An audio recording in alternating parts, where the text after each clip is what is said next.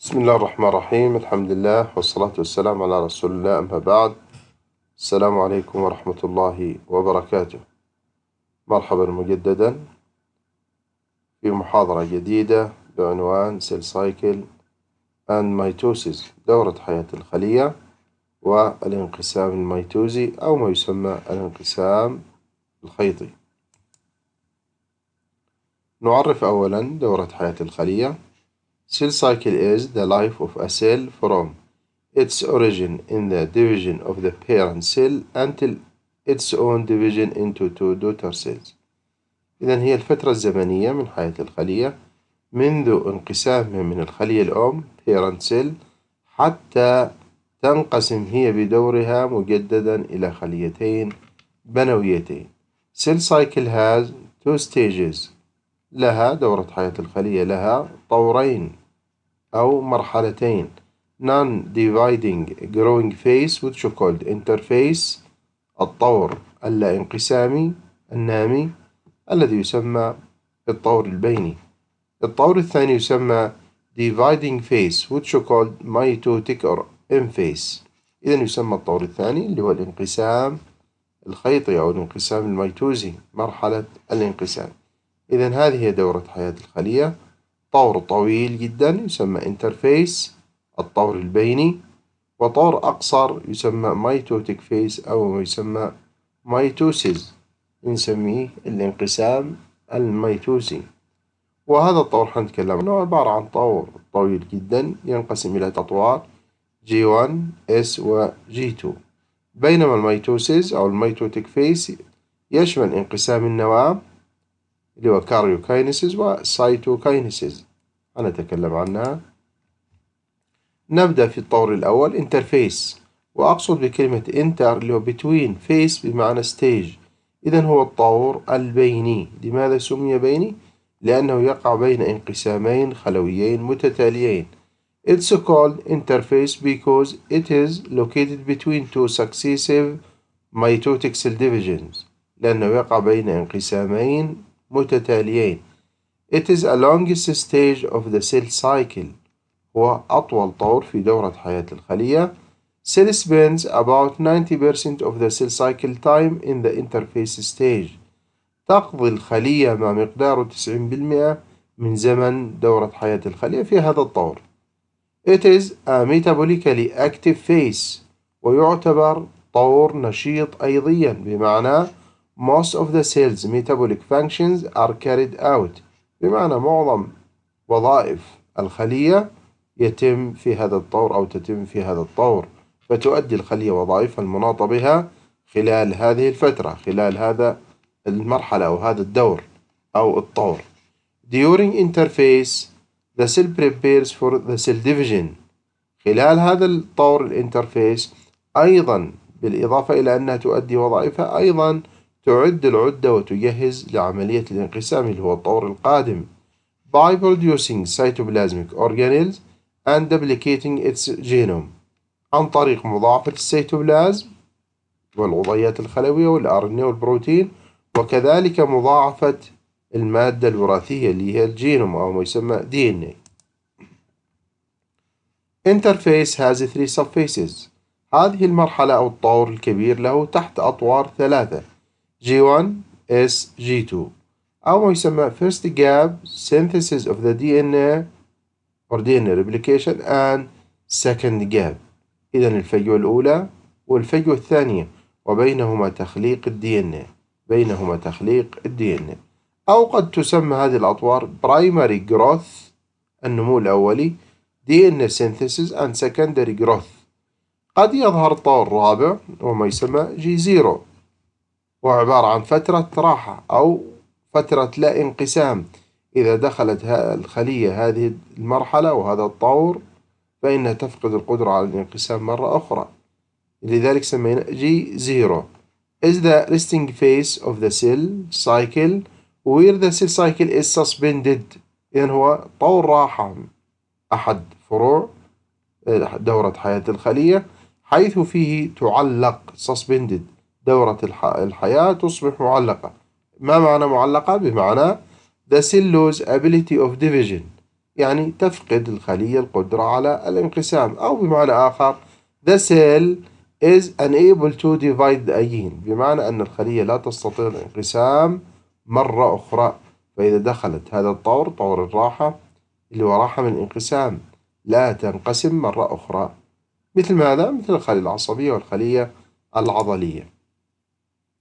نبدأ بأول تحت طور يسمى جي 1 أو يسمى فيست جاب اللي الفجوة الأولى It is a gap time between mitotic or mitosis or M phase and DNA synthesis هي الفجوة الزمنية من دورة حياة الخلية التي تقع بين الانقسام mitotic phase و DNA synthesis At this stage the cell grows rapidly increase in size and become mature cell تصبح الخلية ناضجة بدليل زيادة حجمها ونموها بسرعة وتصبح خلية ناضجة قابلة للانقسام عن طريق ماذا؟ ما هي علامات النضوج؟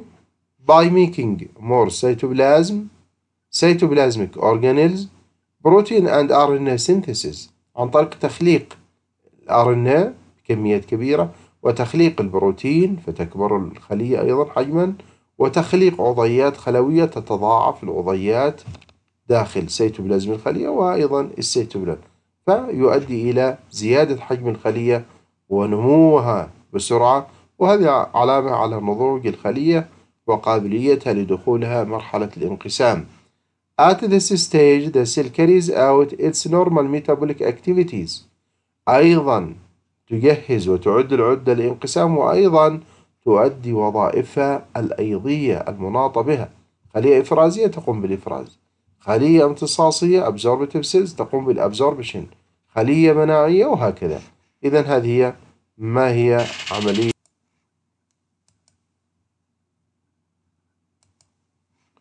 الطور الثاني S phase أو اختصارا هو أقصد فيه means the synthesis synthesis of the DNA أو ما يسمى DNA replication. The daughter chromosomes are copied are replicated. بمعنى الكروموسوم البنوي اللي هو الموجود في الخلية البنوية ال daughter cell يكون كروماتيد واحد أو ما يسمى monad فيتضاعف في هذه المرحلة فيصبح dyad اللي هو two sister chromatids connected or attached at the centromere. إذا ما معنى S phase means synthesis of the DNA تضاعف وتخليق ال DNA بمعنى the daughter chromosomes are replicated are copied يعني تتضاعف each daughter chromosome اللي هو موناد one sister chromatid replicates تتضاعف to produce sister chromatids إذا الأول يضاعف نفسه فيعطي الكروماتيد الشقيق الآخر فتصبح فتصبح داياد من موناد 1 chromatid إلى داياد 2 chromatids. The chromatids are attached at the centromere forming dyad.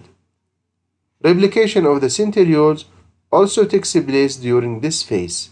أيضا نذكر أن مضاعفة المركزات اللي هي وظيفتها صناعة خيوط المغزل أيضا هذه المركزات تتضاعف بنفس الطريقة وبنفس الوقت مع ال DNA كيف يتضاعف ال DNA قلنا طريقة نسميها semiconservative method بمعنى الشريط القديم يكون شريط قد جديد. One old one new strand.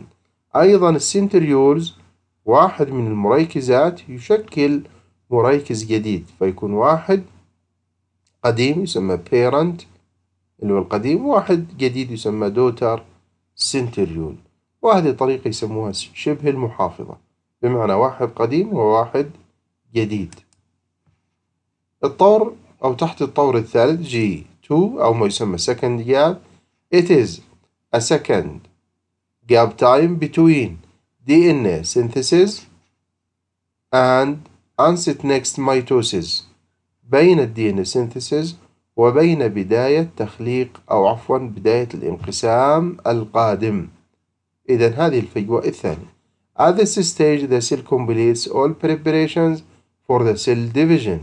في هذا الطور تكمل الخلية كل احتياجاتها لعملية الانقسام فتكمل كل التجهيزات اللازمة للانقسام الخلوي. بمعنى زي ما بدأت في الجي 1 تكمل أي نقص أو يكمل أي نقص في الجي 2 synthesis of protein synthesis of RNA organelles replication cytoplasm وهكذا. تضاعف هذه المواد في السيل and ATP synthesis وأيضا تجهز وتخلق الطاقة اللي هو جزيئات ال ATP all cell structures organelles and proteins needed for the cell division are made at this stage. بحيث أنه يجب أن يكون كل مستلزمات ومتطلبات الانقسام الخلوي جاهزة في هذا الطور في هذا الطور. إذا دورة حياة الخلية لو نلخصها عبارة عن interphase اللي هو جي 1 اس جي 2 ثم تدخل الخلية M phase اللي هو mitotic phase أو ما يسمى M phase أو mitosis وهو عبارة عن أطوار صغيرة. برو فيس برو ميتا فيس ميتا فيس أنافيس أند تيلوفيس ثم تدخل الخلية انشطار سيتوبلازمي نسميه cytokinesis فتنشطر الخلية الأم إلى خليتين بنويتين. ما الذي يحدث في كل طور بالنسبة لل interphase؟ تكلمنا عنها. ما الذي يحدث؟ What happens in each subphases of the interphase قلنا في ال G1 حدث ماذا؟ Synthesis of protein and RNA ال S فقط يتضاعف الجينوم اللي هو DNA synthesis. ال G2 مشابه لل G1 يتم إكمال أي نقص. في ال G1 فتكمل synthesis and replication of the organelles and RNA تخليق البروتين وتخليق ال RNA وتخليق أيضا العضيات الخلوية ومضاعفة العضيات الخلوية. الطور الثاني من دورة حياة الخلية cell cycle اللي هو mitotic phase أو سميناه mitosis أو نسميه M phase اختصارا. Mitotic phase is a period of the cell cycle where the cell divisions occur. حيث يحدث ماذا؟ اللي هو انقسامات الخلية أو انقسام الخلية. It is a short phase. هو طور قصير في دورة حياة الخلية مقارنة بال interphase. The nuclear and cytoplasm division carry out.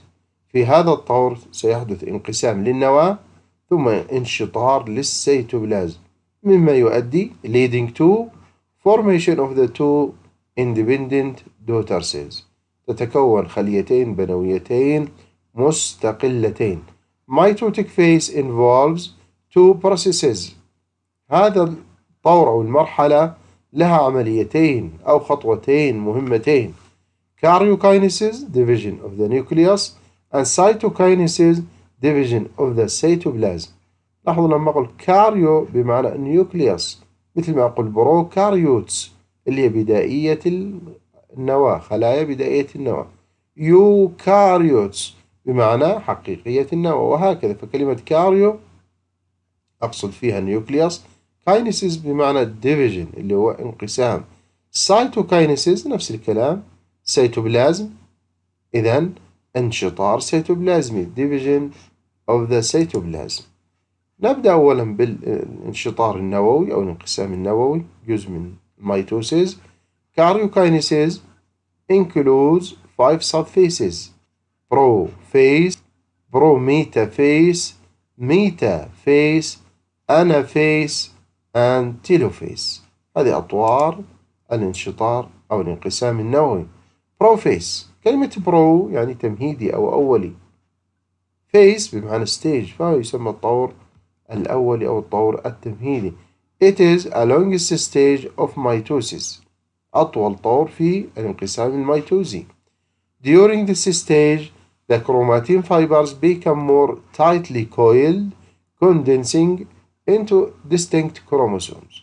إذا تصبح ال chromatin fibers أقصر وأغلظ وأكثر التفافا وتتكثف حتى تتحول إلى chromosomes فهذه خيوط الكروموسومات. كانت chromatin fibers فتحولت إلى كروموسوم. The chromosomes are become visible with a light microscope as short and thick threads. تصبح كخيوط قصيرة وسميكة واضحة تحت المجهر الضوئي. The centrioles أو ما يسمى centrosomes اللي هي المركزات أو الجسم المركزي. إذا هذه هي عفوا المركزات والجسم المركزي.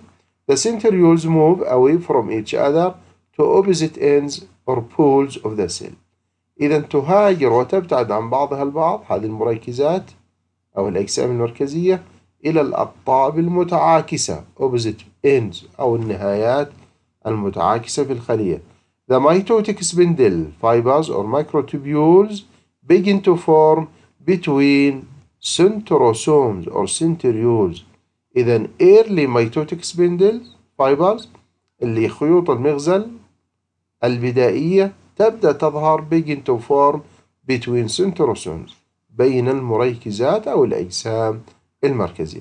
إذا هذا هو الجسم المركزي في القطب الأول وهذا هو الجسم المركزي في القطب الثاني. فتبدأ ظهور مبكر لهذه الخيوط خيوط المغزل بين الأجسام المركزية. تمهيدا لالتصاقها بالكروموسومات حتى تبدأ صفها في الوسط ثم فصلها في ال anaphase prometaphase هو طور ما بين ال prophase وال metaphase وفيه يحدث ماذا؟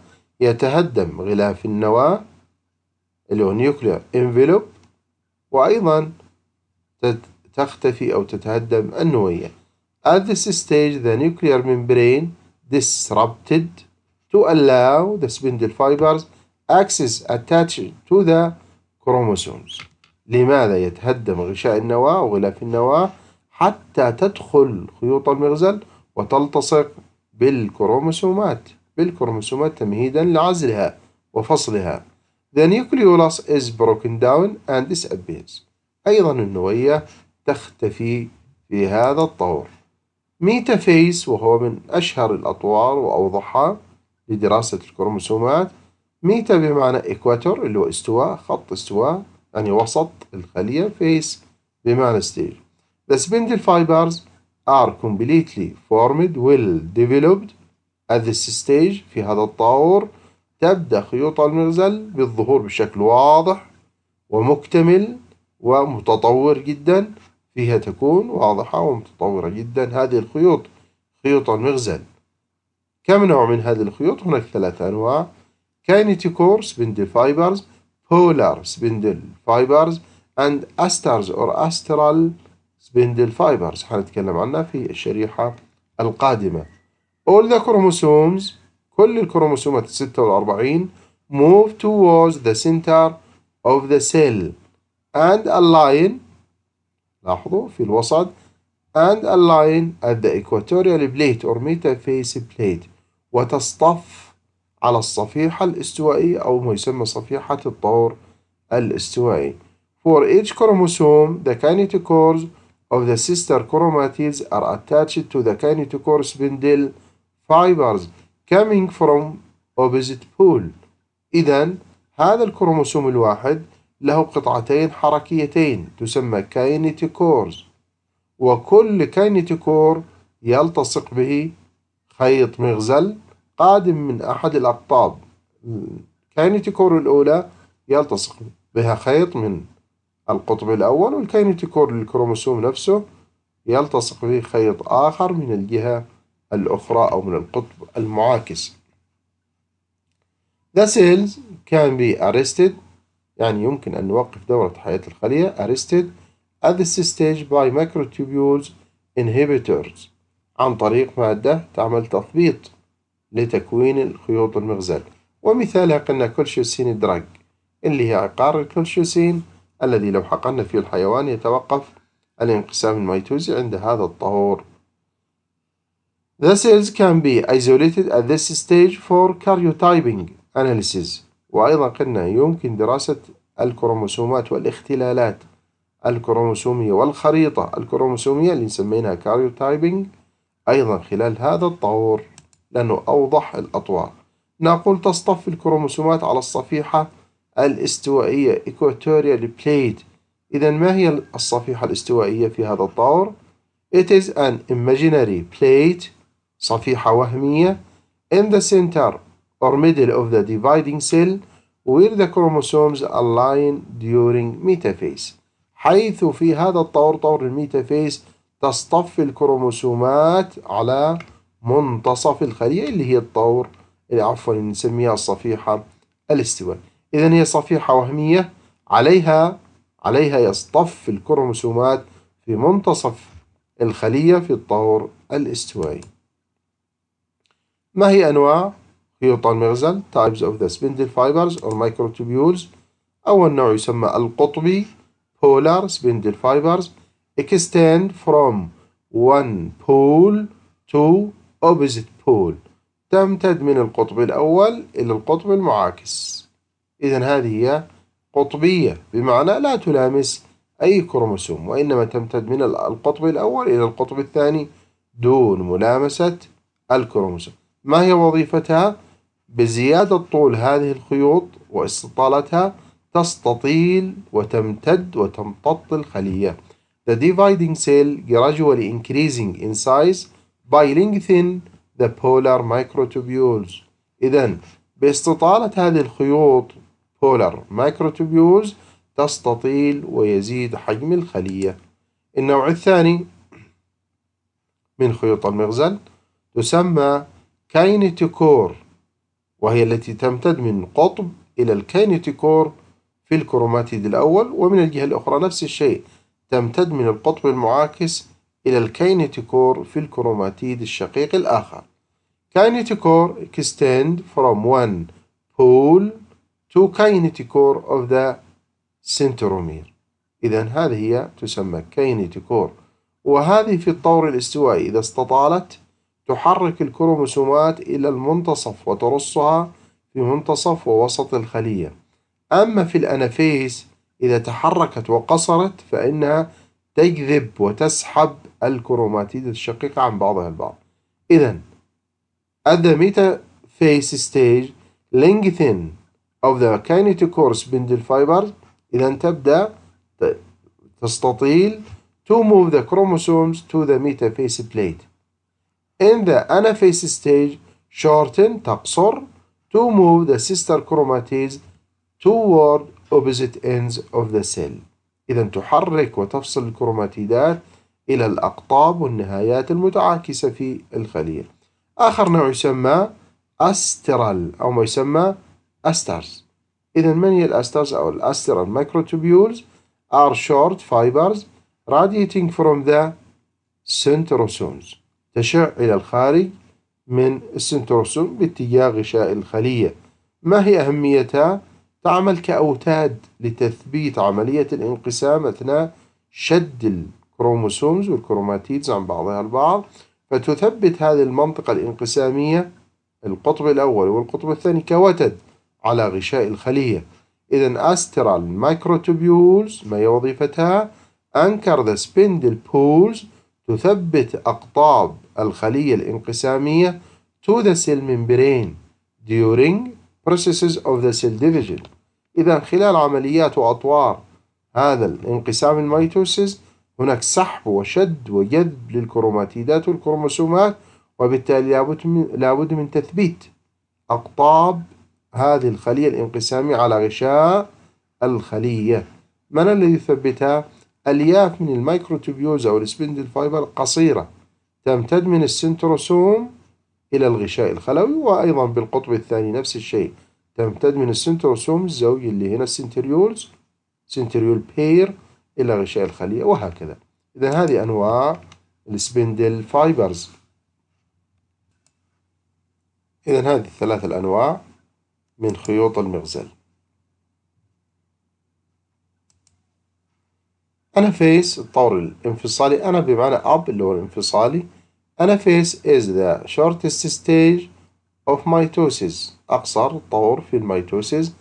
The centromere of all the chromosomes undergo longitudinal splitting forming 92 chromatids 46 كروموسوم تنشطر في كل كروموسوم ال centromere إلى 2 sister chromatids فالمحصلة النهائية عندي 92 كروماتيد sister chromatids are pulled away تسحب بقوة from one another عن بعضها البعض toward the opposite poles of the cell إلى الأقطاب المتعاكسة إذا ال kinetochore spindle fibers تسحب الكروماتيدات الستة والأربعين الأولى إلى القطب الأول. بينما أيضا خيوط المغزل kinetochore spindle fibers تسحب الستة والأربعين الكروموسوم إلى القطب المعاكس. إذا each have number of the chromatids 46 chromatids begin moving from the equatorial plate toward the opposite ends of the cell. من الصفيحة الاستوى بالوسط تبدأ تسحب هذه الأنصاف 46 كروموسوم أو كروماتيد إلى الطرف الأول و46 كروماتيد إلى الطرف الثاني. من الذي يسحبها؟ activity of the kinetochore microtubules. اللي قلنا قصر هذه ال kinetochore تسحب الكروماتيدات. The kinetochore microtubules shorten تبدأ تقصر فتسحب الكروماتيد while the polar microtubules continue to lengthen. بينما ال polar التي لا تلامس أي كروموسوم تمتد من القطب الأول إلى القطب الثاني تزيد بالطول lengthen تستمر بالاستطالة فتستطيل الخلية. الطور النهائي telophase telo بمعنى end اللي هو النهاية أو النهاية النهائي. ما معنى النهائي؟ تصل الكروماتيدات إلى نهايتها إلى المحطة النهائية. During this stage or events of prophase will be reversed. كل الأحداث والصفات والتفاصيل التي حدثت في ال prophase في ال telophase سيتم عكسها. قلنا في ال prophase تحولت ال chromatin fibers إلى chromosomes. هنا لا العكس. يرجع مرة أخرى الكروموسوم إلى chromatin fibers. قلنا اختفت النوية والغلاف النووي. هنا العكس نقول يعاد ظهور النواة والنوية والغلاف النووي وهكذا. إذا two daughter nuclei begin to form in the cell. تبدأ ظهور معالم نواتين في كل جزء من الخلية اللي هي بداية خليتين بنويتين. The sister chromatids اللي نسميها daughter chromosomes monads reach to the opposite poles. تصل ككروماتيدات مفردة إلى أقطاب الخلية المتعاكسة. The chromosomes begin to decondense to form chromatin fibers. الكروموسومات ستحل من التكثيف وتفك لتتحول إلى كروماتين فايبر. The nuclear membrane and nucleolus reappear. إذا يعاد ظهور الغلاف النووي وأيضا النووية. من أين يتم تكوين اللي هو إعادة rebuild إعادة بناء nuclear membrane from the fragments of the parent cell's nuclear membrane من غشاء الخلية أو غشاء النواة للخلية الأولى الأم اللي تكسر فيها. هذه الفتات وهذه الشظايا والبقايا من تكسر ال nuclear membrane القديم يتم بناء غلاف نووي جديد من هذه الأجزاء. The kinetochore microtubules disappear تختفي كليا. لماذا؟ لأنه انتهى دورها. ليس لها أي جدوى لبقائها. لماذا؟ لأن الكروموسومات أو ال chromatids وصلت إلى النهاية إلى المحطة النهائية. فهذه ليس لها داعي من بقائها. while the polar microtubules continue to lengthen.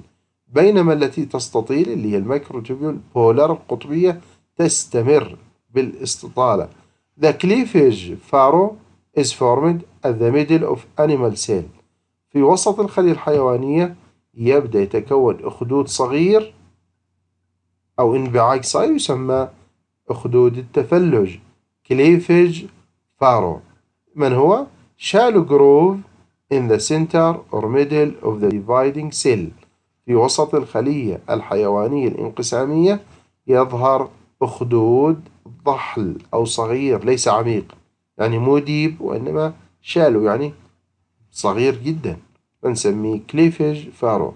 بينما الخلايا النباتية يظهر فيها حاجز يسمى cell plate الصفيحة الخلوية is formed in the plant cell. إذا دخلت الخلية هذه المرحلة ظهور ال cleavage أو ال cell plate in the plant cell نقول ستبدأ مرحلة جديدة. تسميها انشطار سيتوبلازمي. cytokinesis starts now. سيبدأ مرحلة نهائية لانشطار السيتوبلازم نسميها cytokinesis. من هذا ال cyto يلي عملية ال karyokinesis يليها مباشرة cytokinesis لفصل الخلية الأم إلى خليتين بنويتين في حال أنه حدثت عملية ال karyokinesis انشطار نووي ولم يحدث cytokinesis يليه مباشرة ستبقى الخلية الأم بنواتين. وهذه نشوفها في بعض الخلايا مثل من؟ مثل الخلايا العضلية القلبية cardiac muscle cells فيها نواتين وتسمى binucleated cells خلايا ثنائية النواة. أيضا ال hepatocytes ال liver cells خلايا الكبد فيها نواتين binucleated cells خلايا ثنائية النواة. أيضا ال epithelium الانتقالي transitional epithelium اللي هو الموجود في ال ureter و urinary bladder في المثانة البولية والحالب. في الطبقة القمية النهائية superficial layer السطحية هناك خلايا تسمى dome like أو umbrella cells. الخلايا المظلية أو ذات القبة أو القبية. فيها أيضا نواتين. فيها خلية ذات نواتين. binucleates إذا نقول karyokinesis follows by cytokinesis. To form two independent daughter cells. Each one contains diploid number of the chromosome. إذا يجب أن يلي انشطار النواة انشطار سيتوبلازمي حتى نحصل على نو... على خليتين بنويتين من مستقلتين ومنفصلتين. كل منهما كل من هذه الخلايا البنوية لها نفس العدد الكروموسومي الموجود في الأم. 46 في الأم أيضا 46 في ال daughter cells. 2N أيضا 2N The cytoplasm divides by a process which is called cleavage في الخلية الحيوانية يتم هذا الانشطار السيتوبلازمي بعملية تسمى التفلج. من الذي يصنع هذا الأخدود وهذا التفلج؟ الذي يضيق تدريجيا حتى يشطر الخلية الأم إلى خليتين عن طريق حلقة من خيوط الأكتين اللي هي ال actin microfilaments إذا by contracting ring حلقة تخصرية of actin microfilaments عن طريق ال actin microfilaments activity اللي هي تضيق تدريجيا في وسط الخلية حتى تشطر الخلية الأم إلى خليتين. A cleavage furrow forms around the middle of the cell and develops gradually. كيف تتم الآلية؟ هذه الحلقة التخصرية التي تصنع الكليفج فارو في وسط الخلية يبدأ الظهور ثم تتطور يضيق يضيق تدريجيا gradually gradually. متى؟ حتى تتلامس أسطح الغشاء الخلوي من أعلى ومن أسفل. It occurs يستمر هذا التطور والضيق till the edges of the plasma membrane meet. حتى تتقابل اللي سطوح أغشية ال plasma membrane ثم تذوب وتلتحم وتنفصل الأغشية عن بعضها البعض plasma membranes fuse تلتحم to form separate plasma membrane حتى تشكل كل خلية غشائها المستقل. Finally, the mother cell pinches into two new independent daughter cells. في النهاية تنفصل كل خلية بغشاء مستقل عن الأخرى. في الخلية النباتية يختلف. In the plant cells في الخلايا النباتية physicals derived from the Golgi apparatus which called ductiosomes produce a cell plate at the middle of a plant cell إذا في وسط الخلية ترتص وتصطف حويصلات vesicles مشتقة وآتية من Golgi apparatus الذي يسمى في الخلايا النباتية dictyosomes هذه الحويصلات تصطف وسطيا على وسط الخلية في وسط الخلية النباتية لتشكل صفيحة تسمى الصفيحة الخلوية cell plate. أين توجد؟ في وسط الخلية. ثم ما تلبث أن تلتحم بجدار الخلية الأم من أعلى ومن أسفل فيتشكل ما يسمى ال new cell wall جدار خلوي جديد. إذا لاحظوا في الخلية النباتية باختصار ما تهمنا لكن نقول في الخلية النباتية prophase في هذه الخطوة تتحول ال chromatin fibers condensed تتكثف to form chromosomes. ثم تظهر the mitotic spindle fibers is starting to form تبدأ بالتشكل والظهور. prometaphase نفس الكلام يتهدم الغلاف النووي والنوية The nuclear envelope will fragments يعني يبدأ يتشظى يتقض... على شكل شظايا The nucleolus disappears وتختفي أيضا النوية metaphase قلنا all chromosomes line up at the metaphase plate. تصطف على صفيحة وسطية استوائية بالوسط اللي هي الصفيحة الاستوائية. anaphase أن كل كروموسوم ينشطر إلى two sister chromatids ثم تسحب هذه الكروماتيدات إلى الأقطاب. مرة سميها daughter chromosomes؟ مرة سميها monads. Are moving to the ends of the cell as their kinetochore microtubules shorten. من الذي يسحبها؟ قصر. ال microtubules من نوع ال kinetochore هي التي تسحب هذه ال monad أو ال daughter chromosomes أو نسميها chromatids إلى الأقطاب المتعاقبة telophase daughter nuclei are forming تبدأ تتكون نواة كاملة لكل خلية بنوية. ثم قلنا أيضا خلال ال cytokinesis يجب أن تتشكل ما يسمى cell plate اللي الصفيحة الاستوائية التي تكون في وسط الخلية النباتية فتقسم الخلية النباتية إلى خليتين بنويتين.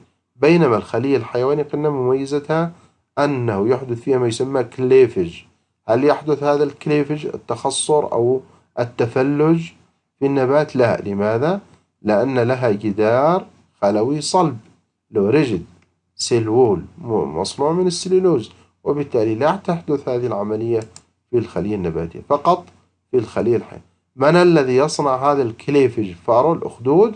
قلنا contracting ring of microfilaments اللي ال actin microfilaments. بينما في النبات من الذي يصنع ال cell plate التي تتحول إلى new cell wall فيقسم الخلية النباتية إلى خليتين؟ من الذي يصنع هذا الحاجز؟ Vesicles forming plate منين قادمة derived from Golgi apparatus. إذا هذه الحويصلات هي التي تصنع ال cell plate التي تشكل ال cell wall منين جاءت هذه الحويصلات؟ من جولجي apparatus. إذا هذه الصورة بالمجهر الإلكتروني النافذ transmission electron micrograph وهذه الصورة بالمجهر الإلكتروني الماسح الماسح scanning electron microscopy إذا هذه هي صورة توضح الخلية الحيوانية عن النباتية. ما الذي يحدث بعد انتهاء عملية ال mitotic phase أو يسمى أيضا cytokinesis الانشطار السيتوبلازمي أين تذهب الخليتين البنويتين؟ After M phase the daughter cells may enter either. قد تدخل الخلية البنوية إما. Interphase to repeat the cell cycle فتدخل G1 S G2 وهكذا. تعيد نفسها تعيد دورة حياة الخلية من جديد. أو أنها G zero to arrest the cell cycle.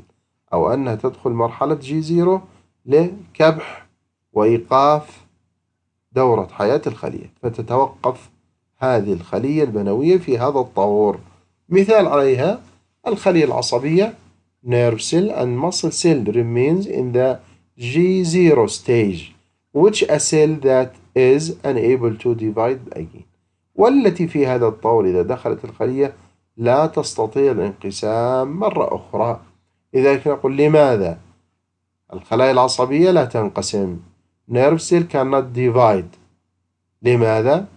Nerve cells or neurons are highly specialized cells لأن الخلايا العصبية أو العصبونات صحيح يسموها علميا تسمى نيورونز عالية التخصص الوظيفي. إيش معنى عالية؟ يعني وظيفتها جدا مهمة ومعقدة. لا يمكن الاستغناء عنها ولو لثواني. ونغامر بدخول الخلية في الانقسام. إذا they do a very specific complicated job in the body. لأنها تقوم بعملية ووظيفة معقدة ومهمة اللي الإحساس في جسمنا. Like other highly specialized cells مثل أي خلية أخرى. Nerve cells lose their ability to divide إذا لا تقبل الخلية المغامرة والدخول في عملية الانقسام. لماذا؟ لأن highly specialized cells والخلايا عالية التخصص الوظيفي لا تغامر بالدخول في عملية الانقسام. لماذا؟ لأن الانقسام يأخذ وقت وزمن ولا يعقل أن نتخلى عن الإحساس والخلايا العصبية والجهاز العصبي حتى لساعات أو لثواني وتغامر الخلية بعملية الانقسام. هذا واحد من الأسباب. السبب الثاني تركيبي. It lacks centrioles. تركيبيا لا تحتوي على عضية المريكزات أو الجسم المركزي لماذا؟ لأن هذا المريكز هو المسؤول عن تكوين خيوط المغزل. إذا lack these organelles centrioles وهذا قلنا مهم في عملية تكوين خيوط المغزل. أيضا لأن ال nerve cells وال muscle cells remain in the G, G0 stage. يبقى في أو تبقى هذه الخلايا في طور ال G zero وهذه تفقد القدرة الخلية العصبية والعضلية على الانقسام مرة أخرى. إذا هذه أسباب. أيضا هناك سبب فسيولوجي أن المعلومات تخزن في الجهاز العصبي في الدماغ في الخلايا العصبية تراكميا. فلو انقسمت الخلية العصبية ستمحى هذه الذاكرة وهذه العلوم التي تم جمعها على مدى سنوات وبالتالي يصبح الجهاز العصبي خالي من أي معلومات وبالتالي يصبح كأنه طفل جديد. يحتاج إلى تعليم من الصفر. إذا هذه كل أسباب جعلت الخلية العصبية غير قابلة للانقسام. إذا كانت هذه محاضرتنا عن ال cell cycle والانقسام الميتوزي mitosis. إن شاء الله نتكلم في المحاضرة القادمة عن النوع الثاني من الانقسام نسميه meiosis. أو ما يسمى reduction cell division اللي هو الانقسام الاختزالي. لماذا سمي اختزالي؟ It reduces chromosome number from diploid to haploid. وهذا لا يحدث إلا في الخلايا الجنسية في خصى الرجل وفي أيضا مبايض الأنثى. إلى ذلك الحين نستودعكم الله والسلام عليكم ورحمة الله وبركاته.